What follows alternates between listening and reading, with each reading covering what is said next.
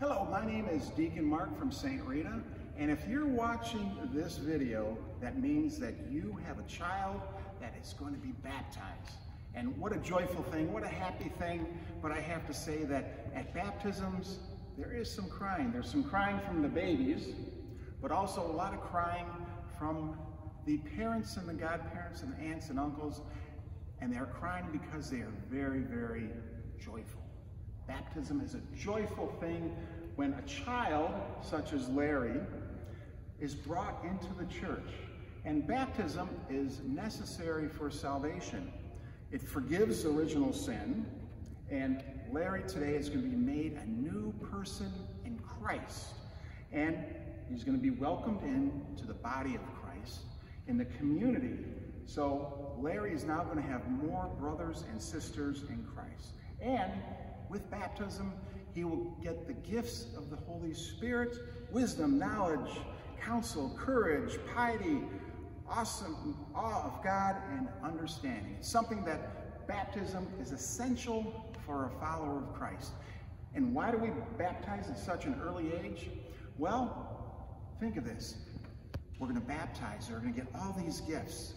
You need to get your child baptized, and something happens. Something happens mysteriously, something beyond what we see. And it's important that you have your child baptized as early as possible so that they are welcomed into the, the community of Christ. So we're going to go through the sacrament kind of quickly. We won't do the whole thing, but we'll explain what we use. And today we have the Father, the Mother, we have Larry, and usually we have two godparents chosen, which we have probably have talked about before this. So we begin every single thing with prayer. And we begin with the name of the Father, the Son, and the Holy Spirit. Amen. And in a few minutes, we're going to be baptizing Larry in the name of the Father, the Son, the Holy Spirit. So every time you make the sign of the cross, you remember your baptism. We begin by asking a question to the parents. Parents, what name do you give your child? Larry. Larry. And what do you ask of God's church for your child? Baptism. Baptism, very good. And at this point, I'll ask the same question to the godparents. Are you ready to help the parents of this child in their duty as Christian parents? And they will say yes. And then I will pray, Larry, the Christian community welcomes you with great joy. In the name I claim you for Christ our Savior. By the sign of the cross, I now trace the cross on your forehead and invite the parents to do the same. So, parents and the priest or deacon will trace the sign of the cross on the head.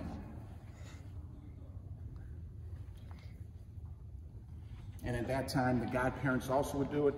Actually, I invite grandparents and everybody in the community to come forward and to put the sign of the cross on the child. At this point, I would have everyone sit down and we would go to the Word of God and we would pray and we would listen very intently to the Word of God. And then I would do a short homily explaining the reading and talking about how baptism is so important for this child and for the parents. Then we will get to the rite. As you see, we are we're by the water. Each church, each baptismal font is different. Here we are kind of stuck because our baptismal font is closed. So we have water that has been blessed. Okay, we'll begin with, it's called the prayer of exorcism and the anointing before baptism. Almighty and ever-living God, you sent your only son into the world to cast out the power of Satan spirit of evil to rescue man from the kingdom of darkness. And we go on and we say amen. At this point, I will take oil. Okay, this is blessed oil, blessed on uh, the Tuesday before Easter. It's blessed by the bishop. And oil is used to seal in the sacrament, seal in those gifts that we give. So I am just going to pretend to anoint Larry. And I anoint Larry on his breast. There. Very good. May you have strength in the power of Christ our Savior who lives and reigns forever. And we all say, Amen. Okay. Now, we come to the point where we're going to bless the water. Water is a sign of cleansing. Every time we come into a church, we will go to a font and bless ourselves in the name of the Father, the Son, and the Holy Spirit. And it's a symbol that the church uses, a symbol that we show that, uh, that washes away the sins of Larry. So, I will say a prayer over the water, then I will touch the water, signifying that the water is now blessed. We ask you, Father, with your Son, to send the Holy Spirit upon the water and the font. May all who are buried with Christ in the death of baptism rise also with him to newness in life. We ask this through Christ our Lord, and we all say, Amen. And now, we do the procession, procession, profession of faith. And now this is the time that we're going to go through the creed, and we're going to do what we, we believe, and you will answer, I do. Okay, are you ready? Do you reject Satan? I do. And all his works? I do. And all his emptiness? I do. Do you reject sin so as to live in the freedom of God's children? I do. Do you reject the glamour of evil, refuse to be mastered by sin? I do. Do you reject Father Satan, the father of sin, the prince of darkness? I do. Do you believe in God the Father Almighty, creator of heaven and earth? Do you believe in Jesus Christ, his only Son, our Lord, who was born of the Virgin Mary, was crucified, died, and was buried, rose from the dead, and is now seated at the right hand of the Father? I do. And so we would go through the whole creed, and they would profess as parents what they believe as they are going to raise their child. And now, Larry, parents, we come to the moment of the baptism. Okay, more questions that you have to answer. Is it your will that Larry should be baptized in the faith of the church, which we have all professed, which we just professed before this? And you say, it is. It is. There we go. And now is the time of baptism. And now, you can choose, when you baptize, you can choose the godparent to hold or one of the parents to hold. Okay? Who is going to hold? The child. Okay, come forward. And with the holy water, we're going to baptize Larry. And if listen to the words, Larry, we baptize you in the name of the Father and of the Son and of the Holy Spirit. And usually at this time, the baby starts to cry, but Larry is such a good, a good kid. He's not crying at all. Very good. All right. Step away. Very good. All right. Then we anoint with the sacred chrism. Okay.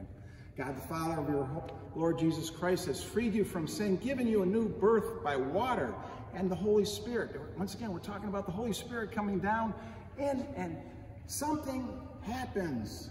It's not just words. The Holy Spirit comes upon you, and once the Holy Spirit is within you, it's there always, always, regardless of what happens. He now anoints you with the chrism of salvation as Christ was anointed priest, prophet, and king. So may you live always as a member of body, sharing everlasting life. And then the priest or deacon will go and get the chrism, put a whole lot on his thumb, and this chrism has a beautiful smell to it. And what he does, he sloughs it on Larry's head, and Larry will now have a beautiful smell for the next few weeks, it sounds like. Okay. Now, the clothing with the white garment. I pray. Larry, you have become a new creation. You see the white? You see what I'm wearing white? What happens at uh, when you receive your first Eucharist, you wear white because you're putting on Christ. You're becoming part of the family of Christ. And I pray, Larry, you have become a new creation. You have clothed yourself in Christ. So the priest or deacon will clothe the child in white because he's born new. He is a brand new creation in Christ. With your family and friends to help you word by word and example, bring that dignity unstained into the everlasting life of heaven. And we all say, Amen. Very good. Now, a candle. As you see, we have a candle here. We have a big candle and other candles here. This is the, called the Paschal candle. It represents Jesus. So what we're going to do, we're going to light the baptismal candle. I always have someone tall to do that. Good. Whoop, there you go. Come stand by, Larry. And the priest or deacon prays, Parents and godparents, the light is entrusted to you to be kept burning brightly. As you notice, the, the parents are holding the candle. This child of yours has been enlightened by Christ. He is to, she is to, he is to walk always as a child of the light. We are out of the darkness. We're called to come out of the darkness into the light. When the Lord comes, may he go to meet him with all the saints in the heaven. Very good. Now, another prayer. There's lots of prayer in this. Priest or deacon will go over and lay his hands on the ears and the mouth and pray.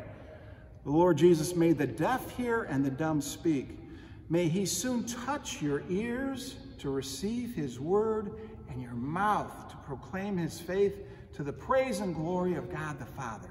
So we're praying now that as Larry grows older, he goes out and listens to the word of Christ, takes that into his heart, and goes out to the nations and preaches the word. Now, we are at the end here. You have put on Christ. In him, you have been baptized. Alleluia, alleluia. Hold up Larry.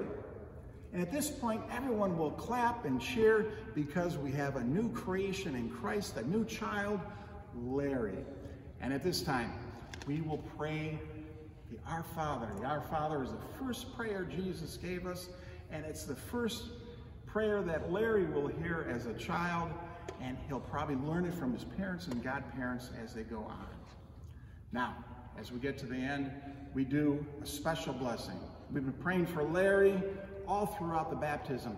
Now, the priest or deacon will come and pray for the mother and pray for the Father because they have a great responsibility. They were married in Christ. Now their opportunity to raise a child in Christ, to bring them up, to get them to heaven, to show them the way, to be the light for this child, this new creation. So, in a nutshell, that's what happens at baptism. And I hope and pray that going forward, you will be the parents that help get your child to heaven.